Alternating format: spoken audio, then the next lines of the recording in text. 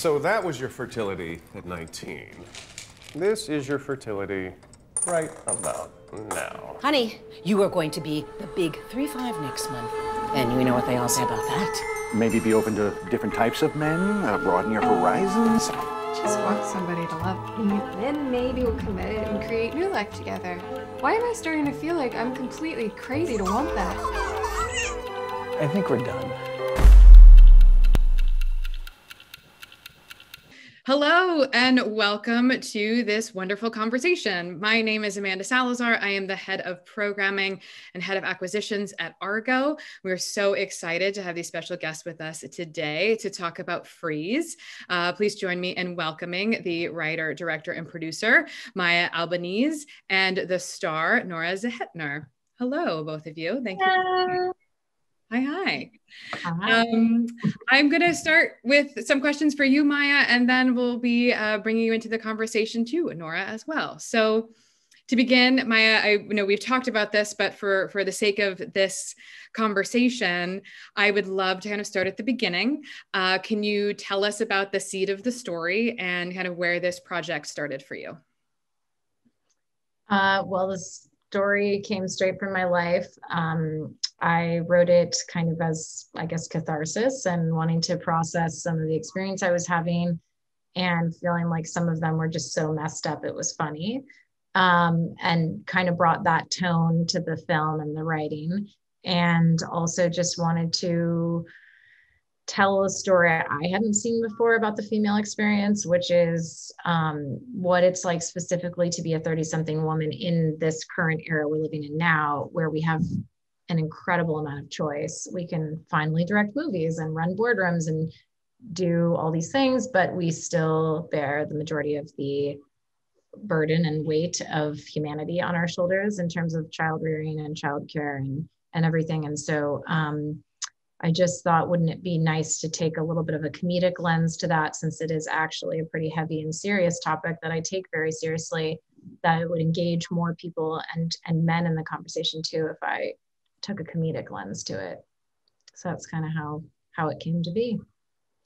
So then you got to writing the script, I would imagine, and then there comes the casting piece of this, which brings Nora into the conversation. But for you, Maya, can I start with kind of what did you know you were looking for when casting for Joy and like the lead of this film, and then kind of like what surprised you? Uh, yeah, I mean, I always, so far in my filmmaking career, obviously, I, you know, hope hopefully I'll make many more films after this, but I, um, I don't, I try not to box myself in too much when I'm writing a role and envisioning like exactly what they look like. And because I do find actors, obviously actors, but and auditions, even in general, you find out so much about what the role can be by each actor's take on the part. Mm-hmm. Um, and actors bring so much to it and they can really surprise you. And so sometimes I go into something with an idea of what I think the character is going to be like, and then an actor has a whole different take on it, and I'm blown away, and it becomes that. So I wouldn't say it was fully prescribed for this film, um, for this role of Joy. But uh, the most important thing to me that it was someone who was uh, very sweet and likable. And um and we yeah so that we would empathize with with her of course. But also and someone who you're just like you know who would be a dick to that person? Like so uh, you know that was part of it. And then uh also as i mentioned um i've mentioned in interviews before is taking off of uh, voltaire's candide which is one of my favorite books of all time that this movie was partially inspired by was you know what about a female character who's an optimist and just wants to kind of have this pretty life and have it all? And then the world just kind of takes a piss on her at every corner and what that says about the wider world around her and what's wrong with it. Um, i think that's like a really hard role to play because you are like the subject of getting all that stuff thrown at you and you have to be able to show a wide range of emotion um, and be having a very expressive and performance. So I was looking for someone who kind of had the the sweet disposition and glow glowing on camera, but also could show like some darkness and some wide range of emotion. And yeah, Nora was like our perfect joy. the perfect joy. I love it. Uh, so Nora, brings me to you. Um, could you talk about you know you get this script you're uh, either auditioning for it or you know you came to this project and kind of what drew you to this character and wanting to portray joy yeah um i remember they sent it to me i think it was like right before christmas when everything was sort of shut down and and i got it and i i I was like, oh, what's this? You know, and then I read it and I was like, oh my God, this is so good. And I was so excited. And I immediately, I think, called my manager and I was like, yes, I, I want to do it. I'm, I love it. And so I think you got a pretty quick response from me, didn't you? Maya? I think so. I mean, yeah, I think I every with shorts, obviously from your point of view, Nora, and from my expectations as a filmmaker, I always just kind of assume like, oh, they probably people probably don't want to do shorts. But the thing is, like, people will do shorts if they like the script, they like the concept, yeah. they like the writing, they like the role. And it was like just really so exciting um, that you accepted the part and so quickly and just kind of I, I said this earlier but it just like renewed my faith in this art form in this business to see like the caliber of talent that was willing to do something be just because they loved the you know the art. Um, and yeah so it was organic and quick feeling i think. Yeah. yeah i just thought it was really special and i thought it was interesting and you could tell what a vision she had just from reading it. And obviously I related to it in ways and um, wasn't a huge stretch, some of it. And, and also, I mean, it's also really exciting to support female filmmakers, you know. Mm-hmm. So, yeah. And can you also talk about, you know, you read this script and you kind of just now touched on it a little bit, but what were some of the other things that really spoke to you kind of from the storytelling perspective of like this character, like, I want to do this role? Well, it was just fun because she had this kind of nice, surreal, you know, at times take on on a very, you know, common subject that I talk about with my girlfriends a lot, or or any male friends, female friends, family. Yeah. And um, and it's, I think it's something that is. I, I don't know. I mean, I think it's it's an interesting thing with the different generations and how it's affected us and, and specifically um, mine I, I, think i was kind of maybe on the verge of, of kind of the generation where it's just like you can do whatever you want. You can take as much time as you want to or or kind of being still in the one where it's like you're supposed to get married and you have this idea that you know by the time you're 30 you're going to be married and have kids. And i you know still struggle with that because i sort of sometimes i'm like oh that was the thing i was supposed to do Whereas men are never told that they're supposed to do that. They never have this idea that they're supposed to do that, you know? And so there's two two things like you're being told like you could like, and I think she specifically says in the film, like you can have it all, like have your career, take your time. Yeah. Um, and or no, you're supposed to do this. And so I don't know. I just think it's always an interesting thing to explore and something that I hope and it does seem to um, keep changing and expanding, and hopefully uh, our roles are becoming less defined. You know, with with each new generation and time. Um, but yeah, but I'm still sort of stuck in the one where you had these ideas of what you were supposed to do with your life. Right. Um, well, again, I, in the same kind of realm of approaching the story as a viewer, it was also like very struck me in the same way of like being a professional, career driven woman and at a certain age. And so, and yet it is also very universal. Um, which is actually what I loved about Nora, like your embodiment of the role of joy, because your character has agency and but it's also dealing with like a lot of anxiety and and or mm. or however you might describe kind of what she's going through. And i'm curious how you as an actor kind of like approach that that kind of duality that is expressed within the film. Was it something that you thought about or just kind of was like there on the page and you could really kind of just embody it or or your approach to it? I think it was just there on the page. And um which made it much easier. And and then it was really interesting working with all the different actors because they were all we did get to have some rehearsals beforehand, but everybody brought such a different energy to it.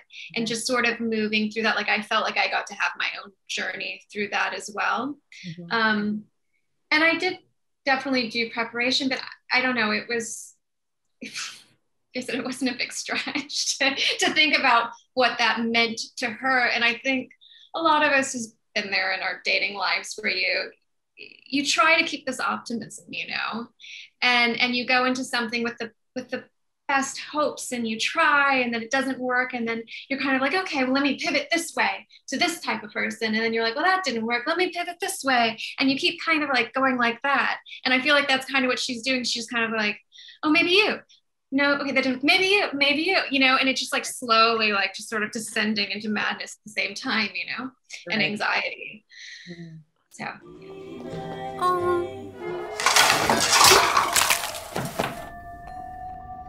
joy. Well, speak going really back.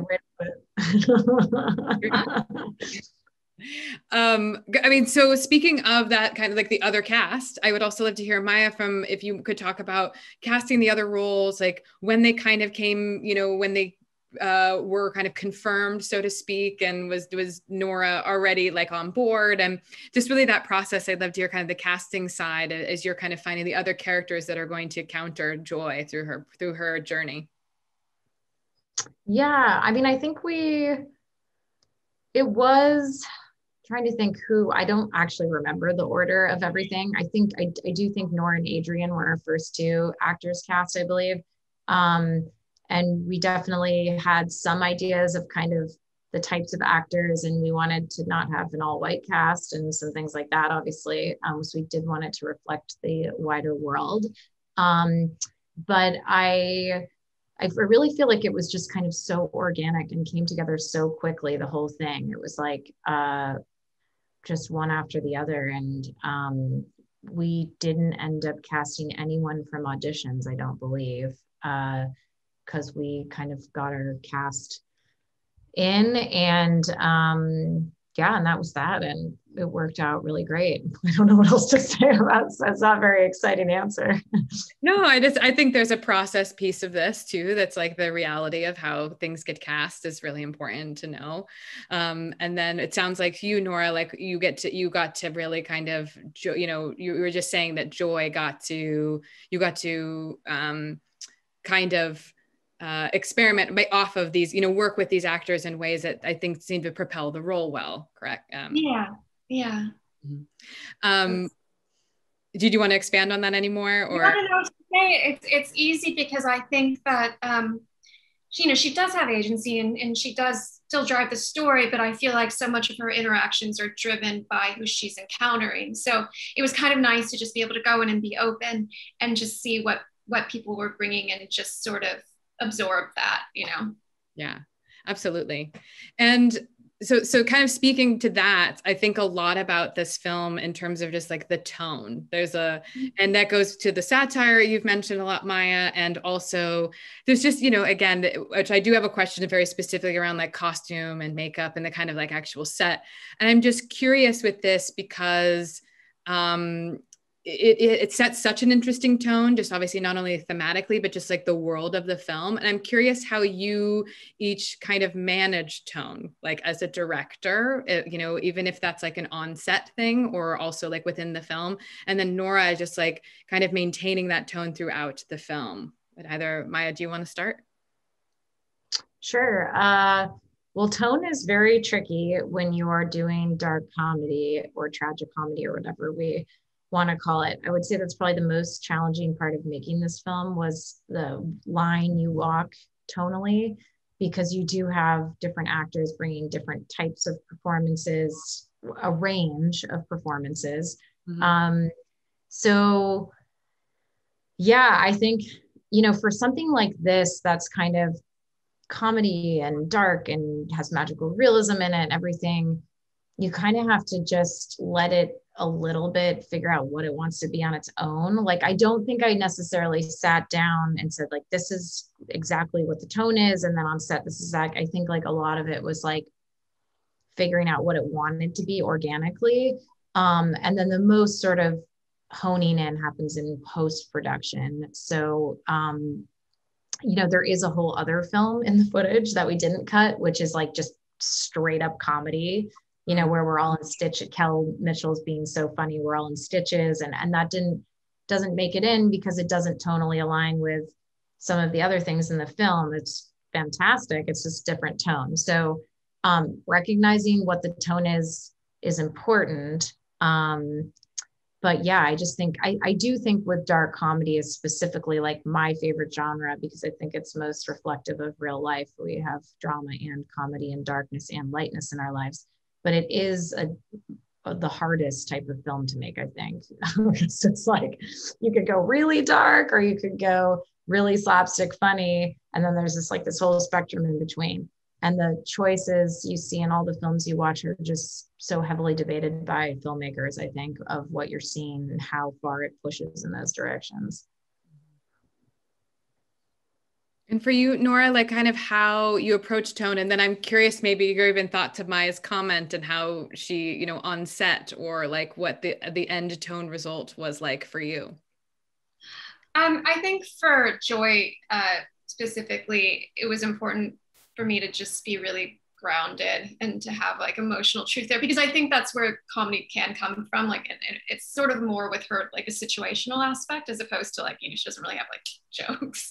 Right. So, so I thought kind of the straighter everything is, and the more you sort of just feel for her, like the funnier and darker and sadder it it is. Mm-hmm. Um, and yeah i mean maya was great she just like really let me play and she'd come over and she'd have great ideas for for like kind of specific things and, and we do that and um but i was kind of just i mean and we definitely played or i tried to give her options as far as like tone you know for it being a bit more broad or it being very small and and just trusted her to sort of sort that out. Um, because because like she said it it was you know everybody has different styles and and it could go bigger could go smaller and and yeah so i just wanted her to have all the options. Great. Um because I, I did want to then talk to you about the costuming the hair the makeup the kind of journey that joy takes and it uh, from a visual standpoint also seemed very fun. Like i know the situations weren't as such but there seemed to be a lot of great uh, you know set design and and you know kind of given and care given to especially joy. Can you talk about that experience nora and like kind of how that influenced the character or or again just like the hair and makeup aspect of of, of joy? Well I've never gotten to just like look like shit for so long in a movie. It was so much fun to just have mascara running down my face and not care about looking pretty or, you know, and and just kind of like I really enjoyed that. um, uh, but no, I mean, I think that Maya had a really specific idea of of the character's journey and what that uh, looked like physically. So that was that was really her. I, I didn't have a lot to do with any of that, I don't think, as far as um, um, she was very good at communicating that with our hair and makeup and, and wardrobe department. And um, but yeah, it was it was really fun to to kind of get to just allow her or me to just evolve into just this kind of giant mess. Um, she gets there pretty quickly. It felt like I was mostly in yeah, the, the sad joy for most of the scenes. You only get one scene where you actually are like done up, which is the scene she gets dumped. Yeah. and, and that was the first day, wasn't it? Yeah, that's what I, I was saying that earlier. Is like um, there was some debate over whether we were going to kill Nora by doing the first day of like on the lawn and the sprinklers with the rain and like everything on the first day of shooting. it's a real hard entry in. Yeah, we had we had one scene with Adrian, which yeah, he he breaks up with me, but I'm like dressed up, and it seems like Joy's gonna have a great life and a great time in the short. And then they threw me in front of the house on the couch with the sprinklers, with and it was raining actually too. Oh my gosh! Remember that?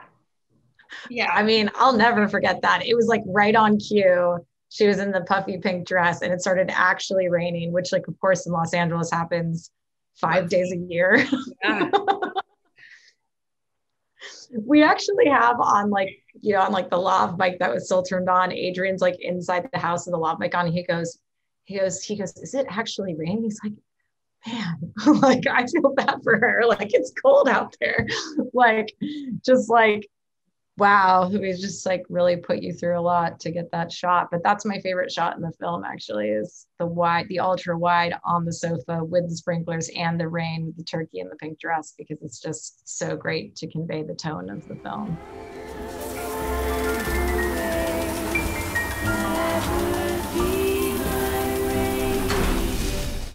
Yeah, it's incredible. I was going to say that's movie magic, man. Actual real rain captured, and you stuck through it, Nora. That's pretty remarkable.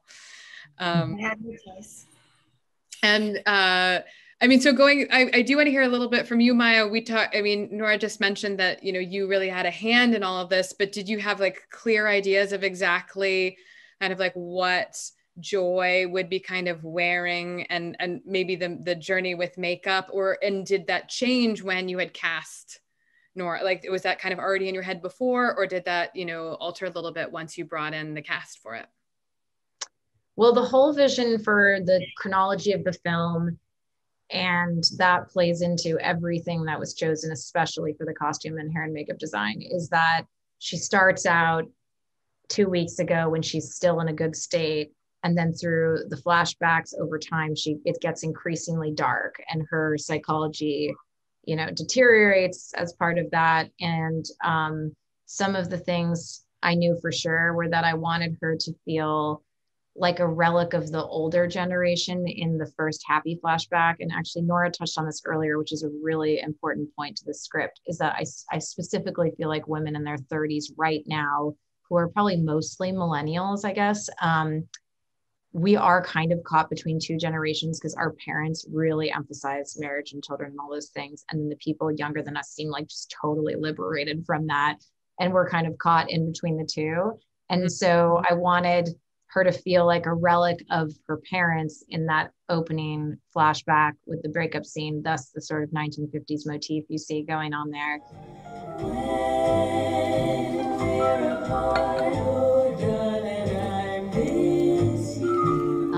And then as she uh, deteriorates, her outfits would sort of get more and more muted, the color palettes. Um, I described it as like starting out with piggy pink and gradually becoming more muddied pink, like as if we were throwing dirt on the pink tones. And that was done in lighting and the color grade and post production, but it was also done through her wardrobe for sure. And then the obvious um, deterioration was depicted with with hair and makeup, just like and that was a huge thing matching because you're not shooting a film in the order that it's written usually making sure that when we showed up to set that day she was the right amount of like melted mascara comparing to where she was in her psychological journey. So it was it was all very well thought out in advance and um, an important part of conveying her interior psychology with her external appearance. Absolutely um, and you had mentioned my like the you know that outdoor scene being your favorite, but Nora, I'm curious, what is was like a favorite scene for you to take on? I don't know. They were all fun in, in their own way. Um, trying to think of what was the most satisfying. uh,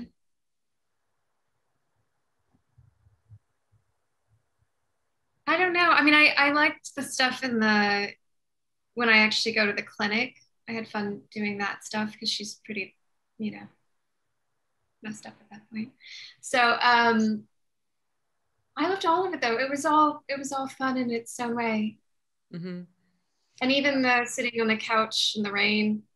I mean, I was a little miserable, but I also understood that it was a really great shot, and so I I still enjoyed it in a way. That's amazing. I will have the first time I saw the film, I've now seen it a couple of times, but the first time I saw it, like your scene where you get to scream at just feels like every woman's rate. Like I, it just feels very, like very authentic. I've definitely done that. And it's also like the fantasy of doing it in a public place if you've done it.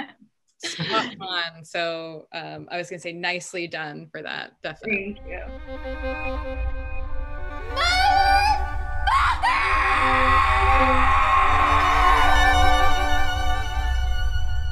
Yeah, that that was sort of uh, gratifying. I, I think I lost my voice afterwards, but it was because I was kind of like my I have like three of these in me, and that is it. They gave me a lot of ice cream, so that was nice. Um, that was at the end of a really long day, and I I think I did enjoy that scream quite a bit. Mm-hmm.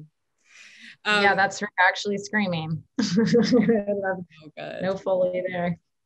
Can you also, Nora, would you mind talking a little bit about, you know, Maya, you've referenced kind of the, you know, the maybe for people that do know that often films are not shot in sequence. This was not shot in sequence. Can you talk about that for you as an actor and kind of your approach and um, again what that process was like for you, um, knowing that it wasn't necessarily like chronological as we saw it? Yeah, um, yeah, it was sort of a fun, tricky one, I guess, on this one, just because the extremes are so extreme with her, and we and it was you know so mixed up between like sometimes we'd have like the scene where she was a little bit more normal and then and we'd have to like clean me up really fast and then go back to and because it's a short you're just on such a tight schedule so it's kind of like a bit um frenetic but uh no i mean i guess i'm just so used to it. I, I can't even imagine what it would be like to shoot something in sequence. It was nice that we got to shoot the first scene first so that was that was something. There you go.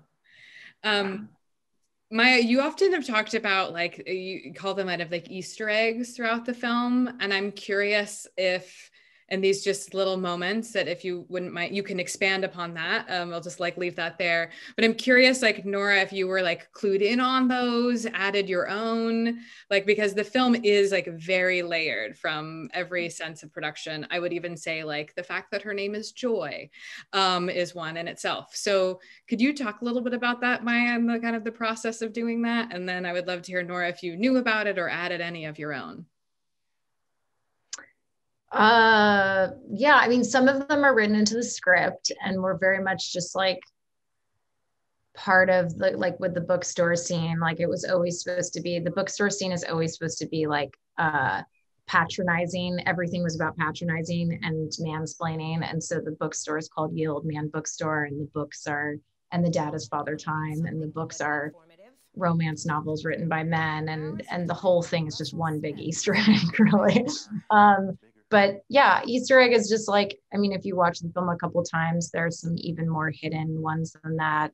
Um, and just really thinking out every single detail in the production design. Or like, for example, the fact that like the pinks on Nora get more and more muddied or her nails get more and more chipped. And so like anything that was a symbol of femininity, I mm-hmm. wanted to deteriorate throughout the chronology. Um, like I don't really like the color pink because for whatever reason, but I think a lot of it has to do with like it seems like a little bit a color of oppression for women. Um, and so I, yeah, an Easter egg might be just the fact that pink was used only in a satirical way in the film. Um, but yeah, I think it was, I'm trying to think of something.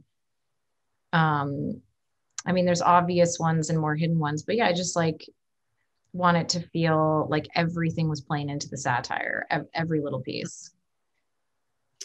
Yeah, it's very fun to watch. The more you watch it, you're going to find more, uh, which is always so delightful. And so, yeah, I'm curious, Nora, if you uh, you had participated in this, knew about it, kind of have your Easter eggs in it as well. No, I didn't. I don't really. I mean, I think that I just sort of focus on what I'm doing, I guess, unless it's something that she wants me to try and, you know, I need to be part of, then I don't really yeah no. I think there are things that I didn't even notice until I saw it, or or I would read it a few times and then I would read it and I would see something new and be like, oh, right. Because I, I think a lot of times when I read a script, I'm so focused on on a, you know on, on my character and what's happening yeah. that the details honestly escape me. Um, and so it's it's always fun for me. Like I do this now whenever I do a job, I read the script as much as possible before I start. Somebody um, suggested that a long time ago, and it, I find it really helpful because you get something new every time. And you start to create your own things that maybe don't actually even exist in the script when you do that enough times. Mm-hmm. So it's interesting. Oh, I like that. And did you like in kind of speaking of that when you kind of I guess kind of I guess what I'm trying to say is when you kind of watched that film for the first time because you mentioned it what was that mm-hmm. experience like for you um, now kind of like seeing from the script that you've read so many times to the screen and your performance? I hate watching myself. So the first time i watch anything with myself in it it's to be completely honest i i i'm just like ah! Like it, it doesn't matter what it is i just sort of have a panic attack. So I have to watch it a couple of times. And then I, but then when I watched it, it's like, this is great. I did a wonderful job. And, and I, yeah, but it's so, it's so hard to, to, um, I don't know. It's, it's interesting. I would imagine I was going to say seeing yourself doing that, but I would, you know, just saying that you really you or that that character feels very much like uh, is very came to life because of you and feels very real. Um and like with that i would like to kind of end this with a more like broad question around because again the the platform argo that the film is going to be streaming on is for short films. Um, and i'm curious for both of you like what is it that draws you to the short film format? As an actor as a filmmaker who wants to start Want to go, Nora? um, for me, um, it's just storytelling. Mm-hmm. You know, it it it really is about the story because um, otherwise, there's not a huge advantage, you know, to me doing them at this point. Um, but if I get to work with somebody amazing who has a vision and uh, and is telling this incredible story, then it's so exciting to me. And, and I get to sometimes do roles that maybe people wouldn't have seen me as normally. And mm-hmm. and so it's it's fun for that too. Absolutely. I mean, I, I don't, there's probably no question of why short films are great for filmmakers and directors. Um, they're, you know, possible to execute. on a lower budget. And so it allows us as an entry point to creativity and experimentation and art. And um, yeah, I think, I mean, I think shorts are the greatest. I want to do shorts forever. I don't think there's any point at which you get too far in your career that you shouldn't do shorts because they're like a playground in which you can test ideas. And um, I don't know, I think, uh, you know, to be honest, I find writing a short harder than writing a feature. And telling a story in under 15 minutes is really difficult. Uh, that, you know, a story that has a beginning, middle, end, and that hooks people. And um, I think it's a it's challenging. And if you can do it in a short format well, um, it's just again, it's a great testing ground um, and a way to hone your skills, you know, before you make something longer form. Um, and then also yeah just like i mean i i really think some of the access we had to such incredible talent like nora and to the vfx house ingenuity who did those incredible vfx and everything is because a short is short. And so you're asking people to show up for one day two day five days um, not 38 days. Um, you actually are more likely to to get people involved if you're asking for less of a time commitment. And that was something sorry I was just gonna say it's also a testament to your talent because otherwise people, even if it's a short period of time, aren't going to give up their time if it's not something that they think is going to be something great and and is exciting. Well, thank you. I appreciate that. I mean, yeah, I guess obviously first, if you have a script people like, and if you have, you know, something good, then then the time commitment is lower. And then yeah, it's not like just the time is the only variable in actors choosing to participate. But I do think, yeah, I just think there's the entry point for everyone involved is lower to a point where you can create some really amazing things. And and and just to, you know, not to get on the soapbox about this, but I'm like really, really passionate, as Nora is, about like female filmmakers and getting different types of voices into the director chair and telling stories about things we haven't seen before. And that includes non white voices too. And I just think, unfortunately, the way the system has always been, it's so hard to get a movie made, anyways, no matter who you are, but especially if you're a woman or a person of color. And so the short films are where all the emerging creators with different kinds of stories and angles and points of view and stories untold are are is in the short form category. So I mean, if you want to find the next fill in the blank or um, something in, more inventive than maybe what we've been seeing for the last 100 years, I feel like short film programs at film festivals are where, where it's at, and um, and that is going to be you know a great funnel from the short film festivals to to a place like Argo, which is platform for short. So yeah okay and i again I, I, appreciate you said that about again being uh, kind of broadening the field of like diversity and different people behind the camera and and and, and joining those projects because that's definitely you know key to changing the industry so um and again this like film can ever as you we've said you've said before reaches all audiences and i think that's what's so great about it that's a testament to the filmmaking and the team and the every every creative piece here that you know put their um, hard work and effort into it, and it definitely succeeds. So. Uh, with that, thank you both for joining me. Thank you both for having a little conversation about Freeze. Uh, we're so excited to have the film on Argo, um, and really hoping that audiences, you know, watch it once, watch it many times to find all those little Easter eggs that Maya you've talked about, and uh, really enjoy your performance, Noah, Nora, because it's really remarkable. So thank you. Thank you. Bye.